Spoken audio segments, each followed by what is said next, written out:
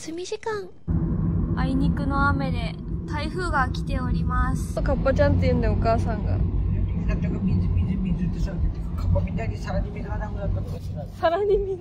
この日は母と合流していろんなところに行きます。お盆付近地震が来るかもって思ったら全く眠れなくて、母の声聞いてたらなんだか眠くなってきました。おやすみ目覚めのアイスを食べに来ました。31ではしっかりアイスをダブルにします。そしてチョコレートミントともう一つ変わり種を楽しむのがポイント。かわいいお母さんのこれ見て寝てるピカチュウかわいいよかわいい母が家に持って帰って再利用したいぐらい可愛いって言ってた。カップ持って帰っていいよいただきますめっちゃシャーベットだこれ知ってる。こっちもえもっちりしてる意外と。粘土のようなアイスでカブトムシができました。ケチャップの味する。終わって。ケチャップの味するんだって。食べてみて。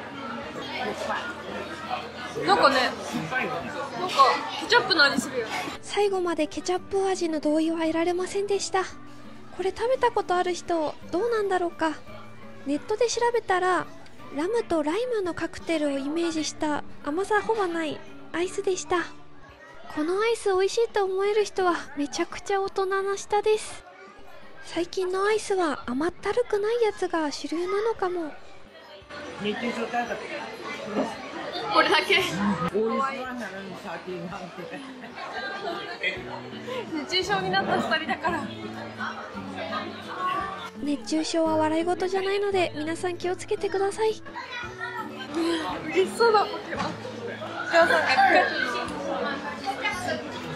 私の母は私以上に少しおかしなところがあってとっても面白いので想像つかないことを突然しでかします甘くないアイスに慣れてなさすぎてチョコミント以外が全部食べれなかった。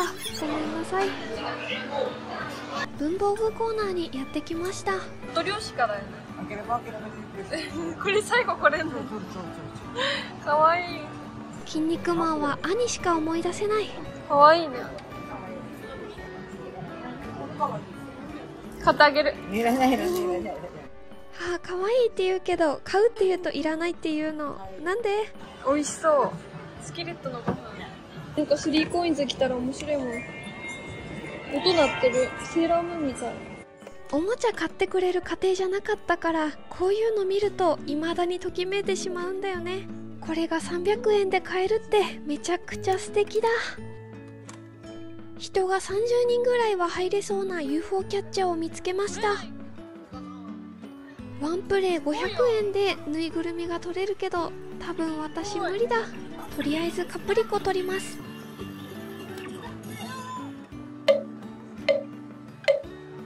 何も来らない。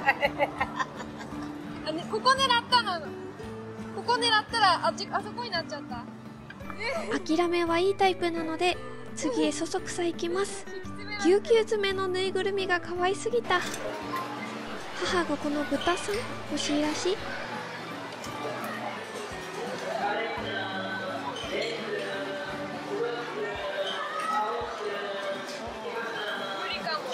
3回チャレンジしたけど無理だった。100円出して遊べるっていうのがどんどんどんどんゲームセンター時代とともに減ってきてると思いません？ほぼ UFO キャッチャーだらけになっちゃってるよ。母に送ってもらって車屋ラーメンやってきました。車屋ラーメンってかなり賛否両論あるラーメンらしいのでやってきました。お酒は瓶ビールのみです。私は味噌バターコーン辛味ネギトッピングで注文したらこんな感じでめちゃくちゃ美味しそうでした。味噌バターコーンもうコーンもバターもラーメンも本当に最高の美味しさ。先ほどお伝えした車屋ラーメンが賛否両論ある話なのですが口コミにまずいとか書かれることが多いんですよ。なんとなく味噌ラーメン食べて分かったことは塩辛いです。いろんな味噌ラーメン食べてきたけど一番塩辛い味っていうのが車屋ラーメンかも。しょっぱさに強い東北出身の私でも塩辛く感じるので確かにこれしょっぱくて食べれないっていう人もいるかもしれない。夏もカツンと塩辛いのでスタミナつけるのもいいけど個人的におすすめなのは冬の時期かなと思いました。ニンニクもたっぷりで味濃いめなので寒い冬に食べたら芯から温まりそう。凍えそうな冬キャンプの後もいいかも。そのくらい冬に食べたら心つかまれちゃうよ。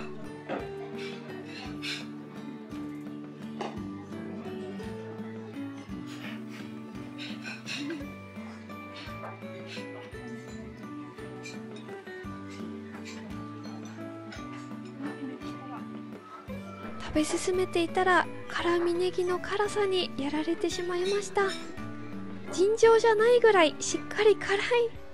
車やラーメンこそご飯と一緒に食べた方が倍々で美味しくなりそう。昔はライス無料でついてきたんだって。午前中の時点でアイス食べたし実は味噌おにぎりも食べてました。それに加えビールとラーメンはもう白ご飯が入らない。もし車屋で白ご飯食べようって方はしっかりとお腹空かせた状態で来てください。口コミがあまり良くなかったので私個人的にはかなり空いてるんだろうなと思ったけどオープンから30分経った帰り際にもすんごい行列できてました。そして辛味ネギは放心状態になるぐらい辛いのでよほど辛さ好きじゃないと厳しいかもしれません。ラーメン屋さんだけどインドカレーに出てくるラッシー飲みたくなりました。最初塩辛いなって思ってたけど食べる食べ食べれば食べるほどどんどんハマっていくんですよ。だから初手はうんって思う人いても最後の方美味しいってなる方も多いかもしれない。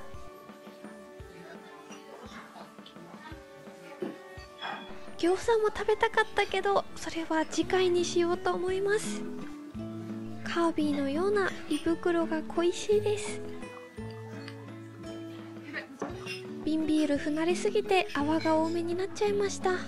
ビールの種類は店舗によって違うと思うのですが私のとこはアサヒビールでした。ラッキー。食べれば食べるほど美味しく感じる車や中毒にはまってきました。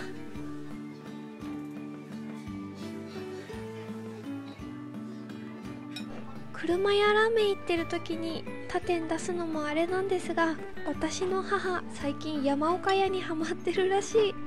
年1月から今まででもう10回以上行ってるらしくしっかりと購入した時のあのチケット取っておいて T シャツと交換するって言ってました。交換できるようにたくさん食べるらしい。辛いので麺を持ち上げて熱を少し冷ましてから食べることで辛みを少し抑える作戦。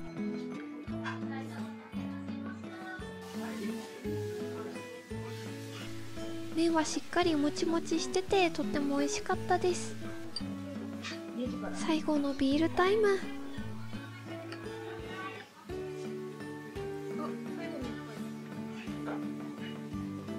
開店直後に行ったらビールとラーメンでダラダラ飲めるかと思ったけどかなり人が待ってたのでそんなことはせず食べきって飲みきってからしっかり帰ろうと思います。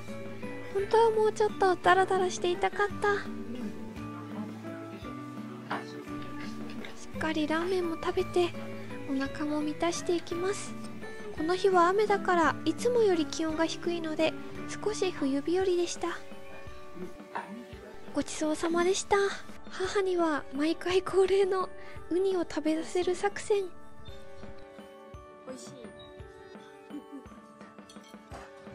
母さんが喜んでるの見るのが私の趣味です。ここからは母との旅行編の動画をお届けします。まずは田んぼアートを鑑賞。母がずっと見たかったものらしい。風が強すぎて髪なんかも途中でどうでもよくなりました。ハッピーって書いてる。すごい。わあ綺麗だねなんかね。なんか日本じゃないみたい。うんそう。なんかこうね。そのなんかあの抹茶かかってるような山がすごい。目的地まで40分迷ったけどやっと着いた。最後までどこがタッピ岬かわからないけど石川さゆりさんの津軽海峡冬景色に出てくるタッピ岬がここらしい。多分 押したんでしじゃんじゃん押したけどじゃんじゃんじゃんじゃんってきたからょポチッとしたかったんだそうなの。願いが叶ったねよかったじゃん。旅館はアップルランドという最初にリンゴを渡される不思議なお宿にやってきました。出してみて至る所がリンゴだらけ。リンゴジュースの入れ物もリンゴだしご飯もリンゴがたくさん出てくるし本当にリンゴ好きにはたまらない宿でした。ここも母が行きたがってた宿。今回はお母さんの誕生日だったので母の行きたいことやりたいことを全て叶えるコーナーでした。夜中以外はお酒もドリンクも飲み放題だし軽食もついてるやつがめちゃくちゃ幸せ。ああれもある。あれでいいんじゃない初めて見るたこ焼き太郎というのがあったので食べずにはいられません。そしてお酒も夕方ですがいただきます。シートル飲みたい。でもね飲んだことあるよね多分。うん飲んだことあるあるけどここで飲みたいよね。何？リンゴボムボムって何？日本酒だって。えシードルはあってもリンゴの日本酒初めて。誕生日おめでとう日本酒だけどアルコール7%なのでグビグビ飲んでしまいそう。リンゴジュースがちょっとお酒になりましたってだけでめちゃくちゃ美味しいの。たこ焼きのお菓子に目がない私。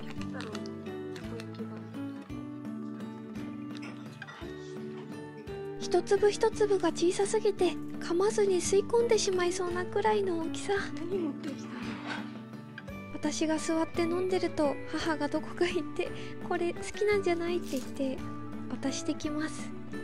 いつもそんな感じで母親って偉大です。好きなもの把握されてる。ホタテのせんべいホタテせんべいを出してきました。今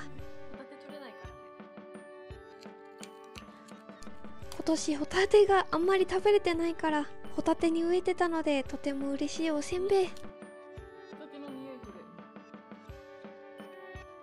バイキングも17時からだというのに我先に行きまして一番最初に中に入りました。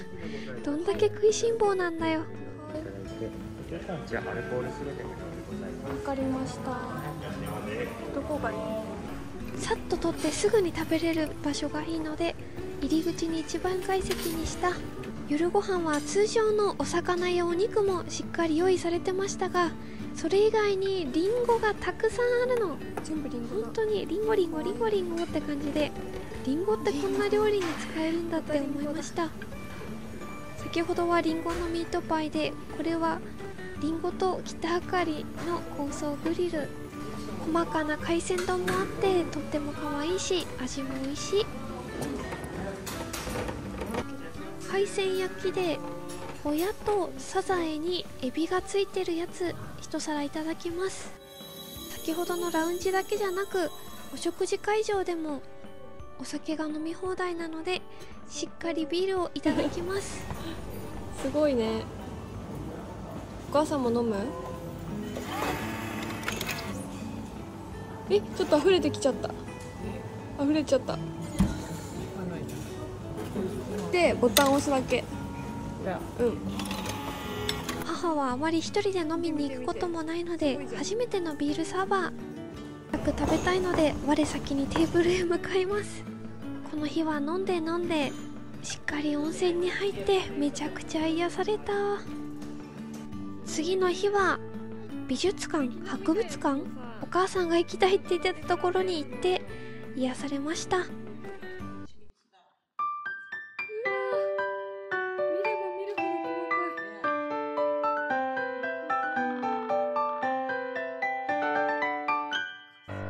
までご視聴いただきありがとうございました。